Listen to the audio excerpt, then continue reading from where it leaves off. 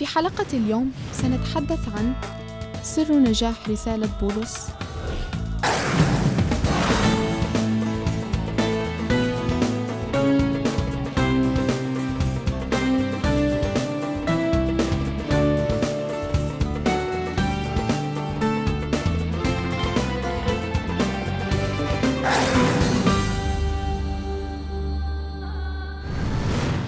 أعزائي من منطقة فيليب أريد أن أتحدث عن سر نجاح الرسول بولس كمرسل. اخترت هذا الموقع لأنه بتعبر عن نجاح باهر لخدمة الرسول بولس. جاء إلى منطقة فيليب في رحلته التبشرية الثانية وأنا موجود حاليا داخل كنيسة قديمة أثرات كنيسة قديمة بيعود تاريخها من أيام البيزنطيين القرن الخامس أو السادس ميلادي. وهون نعبر عن شيء أو بدل على شيء أنه المسيحية انتشرت في هذه المناطق إذ اكتشفوا عدة كنائس في هذه المنطقة. راح ندرس سر نجاح بولس من سفر أعمال الرسل. إيه السر اللي حرك بولس الرسول أنه يتكلم بقوة؟ إيه القوة الكامنة وراء عمل الرسول بولس؟ سنكتشف هذا الشيء بعد قليل. أنا أدعوك لتشاهد هذه الحلقة. لو أنت عايش بفشل في هزيمة في عار بتشعر أنك أنت غير مؤثر أو غير فعال أنا أدعوك لتشاهد هذه الحلقة. متأكد أن الرب رح يعمل شيء في حياتك اليوم من خلال هذه الحلقة. أعزائي سأعود بعد قليل.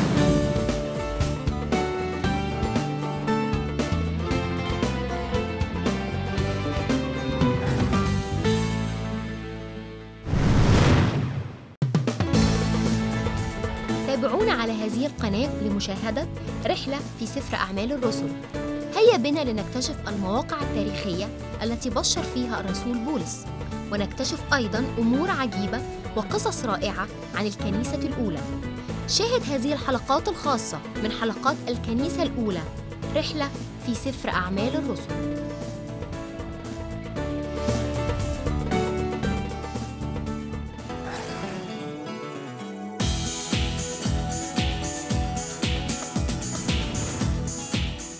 أعزائي أنا ماشي على الطريق القديم الرئيسي فيا إغناطيا. آه كما بتلاحظوا الحجارة الكبيرة الرومانية حتى تتحمل سير المركبات أو العجلات مع الخيل في هذا المكان. فسافرت إلى دمشق وبيدي سلطة وتفويض من رؤساء الكهنة. وفي الطريق عند الظهر رأيت أيها الملك نورا من السماء أبهى من شعاع الشمس. يسطع حولي وحول المسافرين معي فوقعنا كلنا إلى الأرض. وسمعت صوتا يقول لي بالعبرية شاول شاول لماذا تضطهدني؟ صعب عليك أن تقاومني. فقلت من أنت يا رب؟ قال الرب أنا يسوع الذي تضطهده أنت. قم وقف على قدميك لأني ظهرت لك لأجعل منك خادما لي. وشاهدا على هذه الرؤيا التي رأيتني فيها وعلى غيرها من الرؤى التي سأظهر فيها لك. سأنقذك من شعب إسرائيل ومن سائر الشعوب التي سأرسلك إليهم. لتفتح عيونهم فيرجعوا من الظلام إلى النور ومن سلطان الشيطان إلى الله. فينالوا بإيمانهم بي غفران خطاياهم وميراثا مع القديسين. ومن تلك الساعة أيها الملك اجريباس ما عصيت الرؤيا السماوية؟ فبشرت أهل دمشق اولا ثم أهل أورشليم وبلاد اليهودية كلها ثم سائر الأمم داعيا إلى التوبة والرجوع إلى الله والقيام بأعمال تدل على التوبة. ولهذا قبض علي اليهود وأنا في الهيكل وحاولوا قتلي. ولكن الله أعانني إلى هذا اليوم لأشهد له عند الصغير والكبير. ولا أقول إلا ما أنبأ به موسى والأنبياء. من أن المسيح يتألم ويكون أول من يقوم من بين الأموات. ويبشر اليهود وسائر الشعوب بنور الخلاص.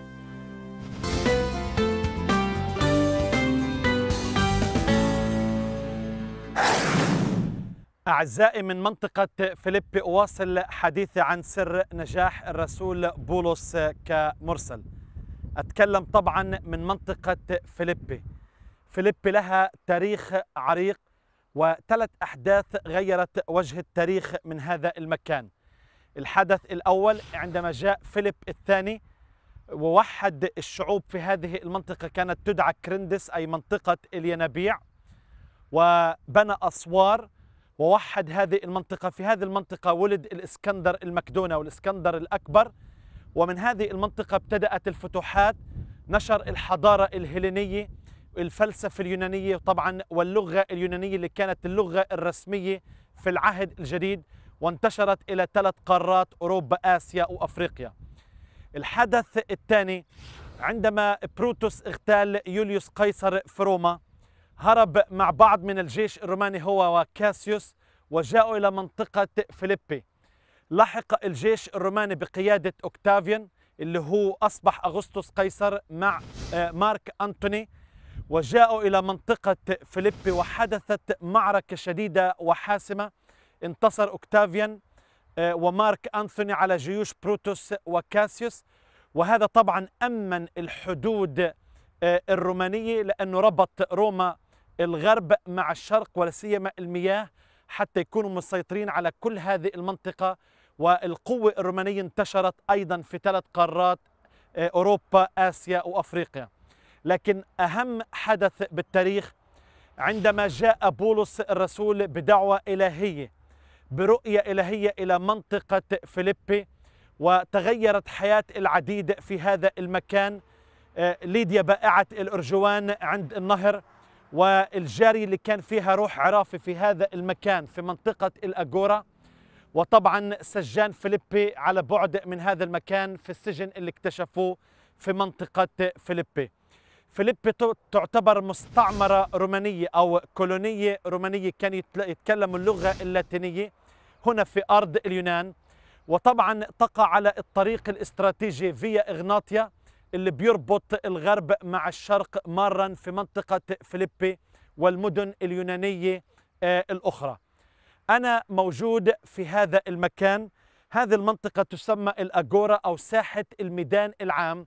اللي كانوا يمارسوا حياتهم تقريبا في كل شيء.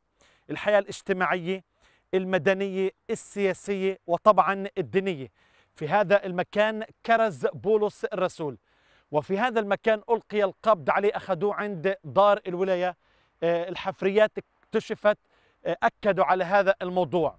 وطبعا آه، تستطيع أن ترى الأعمدة في كل مكان. اكتشفوا خمس كنائس بيزنطية قديمة. معابد قديمة وحمامات رومانية. المسرح الروماني القديم والسجن القديم في منطقة فيليبي. في هذه المنطقة أعزائي بولس لاقى نجاح كبير وانتشرت الكنيسة من فيليبي إلى كل أنحاء اليونان وطبعا وصلت إلى قلب العاصمة الإمبراطورية آه، الرومانية. سوف أواصل حديثي عن هذا الموضوع بعد قليل. ماذا عن حياتك؟ هل أنت مسيحي حقيقي مؤثر وفعال؟ أم أنت مسيحي نائم؟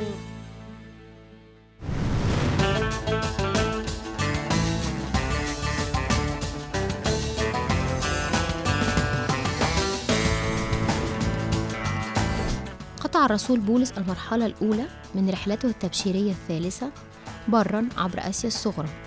مارا بمدن منطقة غلاطية وفريجية وتشمل طرسوس وأيقونية. وفي النهاية وصل إلى أفسس حيث قضى هناك مدة ثلاثة أعوام تقريبا. لقد بذل بولس الرسول مجهودا كبيرا في أفسس حيث كان يقوم بالتبشير والتعليم عن إنجيل يسوع المسيح وعن المعجزات الكثيرة التي أجراها الرب. وفي النهاية زادت المعارضة من جهة الوثنيين الذين كانوا يعبدون الإله أرطميس. حتى كاد بولس الرسول أن يتعرض للقتل. فهرب من المدينة متجها إلى الساحل عابرا ترواس في طريقه إلى مقدونية حيث أمضى هناك قرابة ثلاثة أشهر. بعد سفره عبر اليونان عاد بولس الرسول إلى ترواس ومن هناك استمر في رحلته عبر آسوس وساموس وميليتس. ثم قطع بولس الرسول المرحلة الأخيرة من رحلته عبر طريق باترا. ثم اتجه إلى سوريا. ومن هناك انطلق في طريقه إلى القيصرية حتى وصل إلى أورشليم في نهاية الرحلة.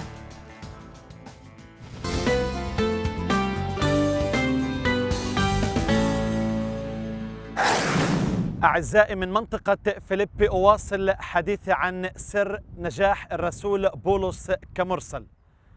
واضح أنه بولس الرسول كان ناجح جدا في الخدمة رغم كل المقاومة رغم الاضطهاد رغم الصعوبات رغم الظروف اللي واجهها في كل مكان كان يكرز في رسالة المسيح.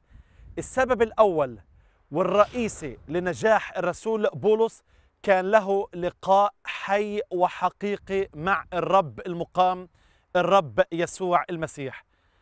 بولس شاول قبلا كان مضطهد للكنيسة وكان ذاهب إلى الطريق إلى دمشق ليلقي القبض على المسيحيين.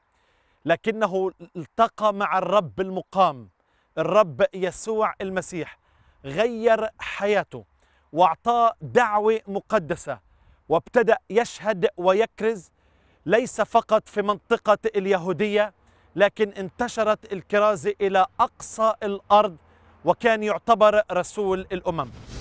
لا يمكن أي إنسان يخدم الرب بدون ما يكون له لقاء حي وحقيقي مع المسيح يسوع. كم من الخدمات كم من الخدام اللي بيفشلوا لأنهم بيقوموا فقط في ممارسات دينية أو شعائر دينية لكن بدون هذه العلاقة الحية بدون هذه العلاقة مع شخص الرب يسوع اللي بيعمل بيتواصل بيتفاعل في حياتك.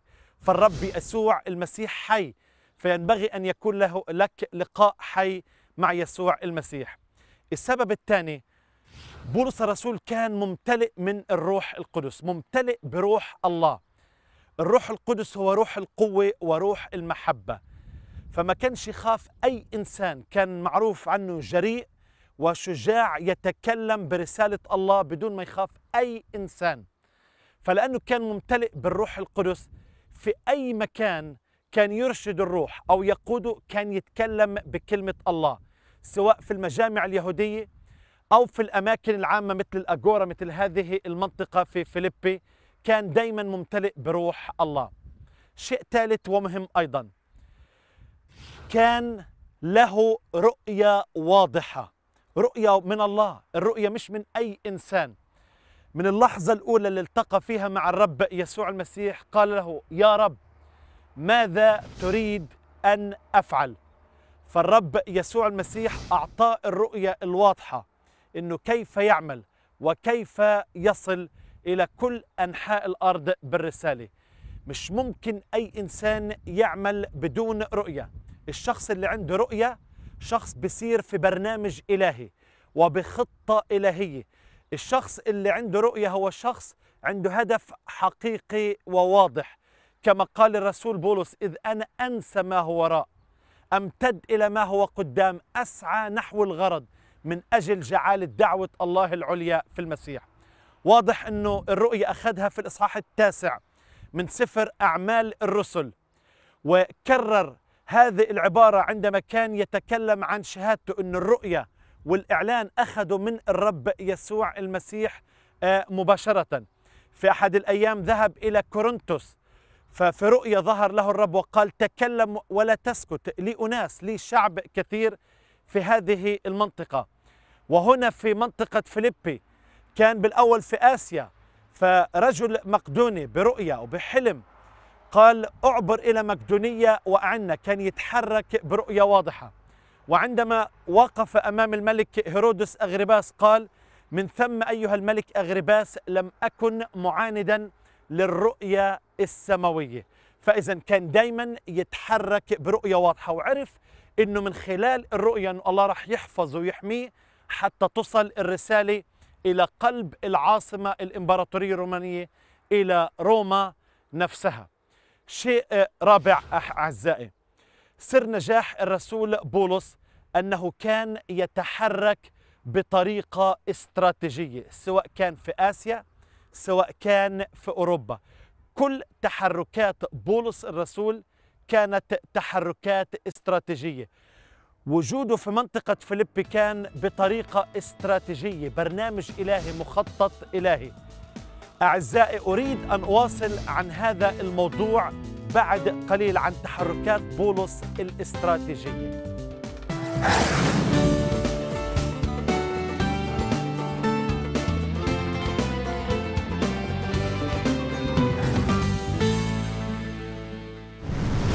وبعد ثلاثة أيام دعا بولس وجهاء اليهود إليه. فلما اجتمعوا قال لهم أيها الإخوة أنا ما أسأت بشيء إلى شعبنا وتقاليد آبائنا. مع ذلك اعتقلني اليهود في أورشليم وسلموني إلى أيدي الرومانيين. فنظروا في قضيتي وأرادوا إخلاء سبيلي لأن لا جرم علي أستوجب به الموت. ولكن اليهود عارضوا فاضطررت أن أرفع دعواي إلى القيصر. لا لأني أريد أن أتهم شعبي بشيء. لذلك طلبت أن أراكم وأكلمكم. فأنا أحمل هذا القيد من أجل رجاء إسرائيل. فقالوا له ما تلقينا كتابا في شأنك من اليهودية؟ ولا جاءنا أحد من الإخوة هناك فأخبرنا شيئا عنك أو تكلم عليك بسوء. ولكننا نود أن نسمع منك رأيك لأننا نعرف أن الناس في كل مكان تستنكر هذا المذهب. فتواعدوا على يوم جاءوا فيه إلى منزل بولس وهم أكثر عددا. فأخذ بولس يحدثهم من الصباح إلى المساء شاهدا لملكوت الله محاولا أن يقنعهم برسالة يسوع استنادا إلى شريعة موسى وكتب الأنبياء. فاقتنع بعضهم بكلامه وأنكر البعض الآخر. وقبل أن ينصرفوا من عنده وهم غير متفقين قال لهم بولس هذه الكلمة صدق الروح القدس في قوله لآبائكم بلسان النبي إشعيا اذهب إلى هذا الشعب وقل له مهما سمعتم لا تفهمون ومهما نظرتم لا تبصرون. تحجر قلب هذا الشعب فسدوا آذانهم وأغمضوا عيونهم لئلا يسمعوا بآذانهم ويبصروا بعيونهم ويفهموا بقلوبهم ويتوبوا فأشفيهم. فليكن معلوما عندكم أن الله أرسل خلاصه هذا إلى غير اليهود من الشعوب وهم سيستمعون إليه. فلما قال هذا الكلام خرج اليهود من عنده وهم في جدال عنيف. وأقام بولس سنتين كاملتين في المنزل الذي استأجره. يرحب بكل من كان يزوره. فيبشر بملكوت الله معلنا بكل جرأة وحرية تعليمه في الرب يسوع المسيح.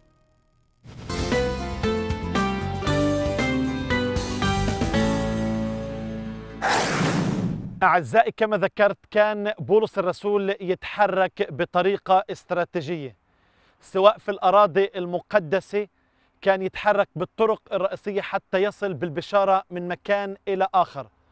وعندما ابتدأ رحلاته التبشيرية إلى آسيا وإلى أوروبا كان يستخدم الطرق الرئيسية الطرق الرومانية القديمة حتى تربط العالم القديم بين الشرق وبين الغرب. وعندما استلم دعوته في منطقة آسيا أن يأتي إلى أوروبا ابتدأ من ميناء نيابوليس اللي هي اليوم كافالا مرا بطريق أغناطيا القديم في فيليبي تسالونيكي والمدن اليونانية الأخرى. فكان دائما يستخدم الطرق الرئيسية لأنه كان في جيش روماني يحمي هذه المناطق من قطاع الطرق أو في البحار من القرصنة. مش بس بيستخدم الطرق الرئيسية كان يذهب إلى المدن الرئيسية في أيام الإمبراطورية الرومانية. لأنه من خلال المدينة يستطيع أن يصل إلى كل الضياع الأخرى فكان دايما يتحرك في طريقة استراتيجية. مش بس الطرق أو الأماكن أو المدن في أي مكان كان يتكلم كان يتكلم أولا في المجمع لليهود وثم ينطلق إلى الأمم. فكان طريقة الرسول بولس أنه يشهد ويكرز ويعلم من كلمة الله والله كان يستخدمه بصنع الآيات والمعجزات. فأول شيء كان يعمل كان يؤسس كنائس محلية في الأماكن المختلفة في هذه الأما... في المناطق. هنا أسس كنيسة ناجحة في منطقة فيليبي. كان يؤسس كنائس. ثم كان يعمل شيء آخر كان يرسم خدام أو شمامسة حتى يساعدوا في الخدمة. وهذه الخدام كان يقوموا في دور العمل في المناطق والكنائس المحلية. ومن بعد ما يرسم خدام كان يرجع يزور الأماكن حتى يثبت وحتى يشجع ويتلمذ أناس آخرين ويعلم عن الكرازة أو أحيانا كان يكتب رسالة إلى كنيسة معينة كما كتب إلى رسالة فيليبي حتى يتشجعوا بالفرح والإيمان أيضا. كان يتحرك في طريقة استراتيجية. شيء آخر كان الرسول بولس يتكلم بلغة الناس. كان يتكلم اللغة العبرية وكان يتكلم طبعا اللغة اليونانية اللغة المتداولة والمتعارف عليها حتى في أيام الرومان. في القديم في القديم اللي كان يحكم العالم القوة الرومانية. لكن اللغة الرسمية والرئيسية هي اللغة اليونانية. العهد القديم مثلا ترجم إلى الترجمة السبعينية من العبري إلى اليوناني والعهد الجديد كتب باللغة اليونانية والخدمة كانت معظمها باللغة اليونانية في كل مكان فكان يتكلم بلغة الشعب. هو قال صرت لليهود كيهودي وللأمم فكان يتعامل مع الناس بحسب أفكارهن وأعمالهن. مش بس هيك شيء سبب آخر بنشوف في نجاح بولس كان بارع في فن التواصل كيف يوصل آه، كلمة الله. وهذا درس ممكن نتعلمه في كل مكان الأشخاص اللي بيخدموا الرب. مع اليهود كان يتكلم بلغة يهودية كان عنده فكرة عن الشرائع اليهودية وعن الفكر اليهودي فكان يتكلم ويخاطب اليهود بلغتهن مقتبس من آيات العهد القديم. مع الأمم كان يستخدم أسلوب آخر بحسب المنطقة الموجود فيها. مثلا عندما ذهب إلى أثينا استخدم فكرة الإله المجهول وتكلم للفلاسفة اليونانيين والعلماء عن هذا الإله العظيم الذي لا يسكن بهياكل مصنوعة لأننا به نحيا ونتحرك ونوجد. فخاطبهن بلغتهن ومفهومهن. عندما كان في كورنثوس كورنثوس قريبة من منطقة استميا مكان الألعاب الرياضية فاستخدم الاصطلاحات الرياضية. وعندما كان في أفسس استخدم آه، الاصطلاحات الحربية تكلم عن الحرب الروحية. فهكذا كان بولس الرسول آه، بارع في فن التواصل. أعزائي سأواصل بعد قليل.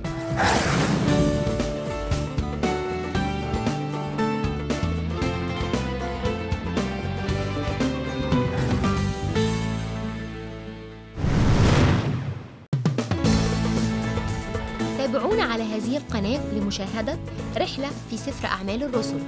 هيا بنا لنكتشف المواقع التاريخية التي بشر فيها الرسول بولس. ونكتشف أيضا أمور عجيبة وقصص رائعة عن الكنيسة الأولى. شاهد هذه الحلقات الخاصة من حلقات الكنيسة الأولى رحلة في سفر أعمال الرسل.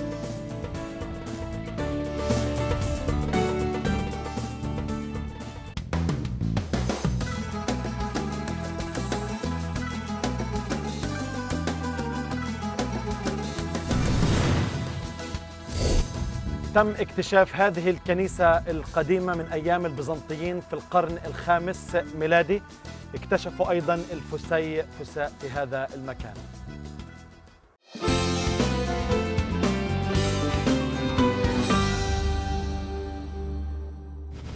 عزيزي ذكرت أنه سر نجاح الرسول بولس أولا كان له لقاء حي وحقيقي مع الرب المقام الرب يسوع.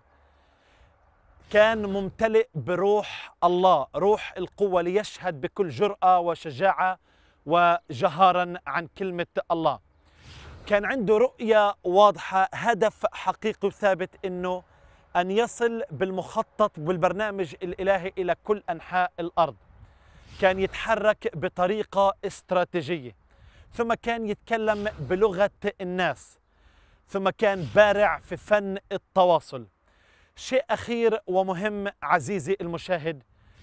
الرسول بولس في كل مكان سواء مع اليهود أم الأمم في أي خدمة كان يعيش في ظل المجيء الثاني. كان يتكلم عارف حقيقتين. الحقيقة الأولى إنه ممكن يموت في أي لحظة لأنه واجه الاضطهاد والمقاومة في أي مكان. والحقيقة الثانية إنه الرب يسوع المسيح ممكن يرجع في أي لحظة. فالسؤال ماذا عن حياتك؟ هل أنت مسيحي حقيقي مؤثر وفعال؟ أم أنت مسيحي نائم نعسان وكسلان؟ إن الحياة المسيحية والإيمان بالمسيح تحرك فيك قوة وجاذبية وفعالية لتتكلم عنه بكل جرأة وبكل جراءه كما ترون في هذه المنطقة تكلم الرسول بولس وهذه المنطقة مليئة بالناس كما ترون السياح من خلف في كل مكان. فهل نتكلم عن المسيح في أي مكان؟ الرب يعيننا أن نمتلئ بروح الله ونتكلم بكلمة الله. يحررنا من روح الضعف من روح الخوف. وأن يكون عندنا رؤية إنه مش بس الكلمة تكون في داخل الكنيسة لكن نطلع للناس في الخارج. العالم بموت من غير كلمة الله. العالم محتاج العالم عطشان جوعان لكلمة الله. فدعونا نتمم مأمورية المسيح ونعيش مثال أيضا الرسول بولس في حياتنا. الرب يباركك وإلى اللقاء. في الحلقة القادمة من برنامج رحلة الكنيسة الأولى سوف نتحدث عن زيارة الرسول بولس لفيليبي.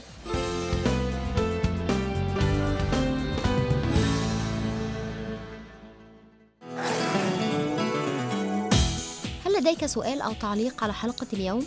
هل تريد الحصول على مزيد من المعلومات عن الحقائق التي شاهدتها؟ لا تتردد في الاتصال بنا على نور at lfan.com كما يمكنك الاتصال أيضا تليفونيا على 001 905 335 1534 أو من داخل مصر صفر واحد اتنين صفر اتنين ستة ستة ستة صفر سبعة. أو من شمال أمريكا 1 800 280 3288 أو